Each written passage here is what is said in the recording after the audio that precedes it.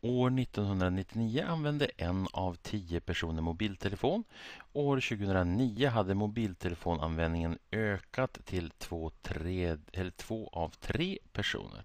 Med hur många procent hade mobiltelefonanvändningen ökat då mellan år 1999 och 2009? Och här ska vi alltså då titta på då, vi ska jämföra det här med det där då.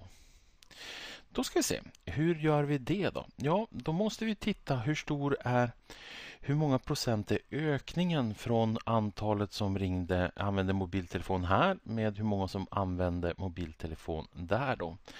Och en av tio, det är lika med 10 procent.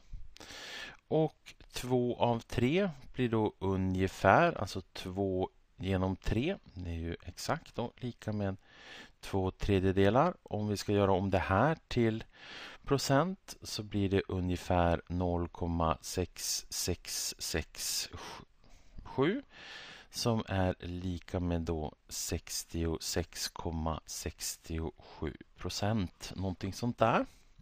Och då ser vi då förändring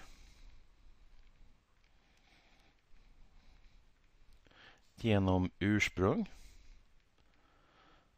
Så för att få reda på hur stor ökningen är så tittar vi hur stor andel använder mobiltelefon då 99 och använde mobiltelefon 2009 och så tittar vi på hur stor är förändringen då.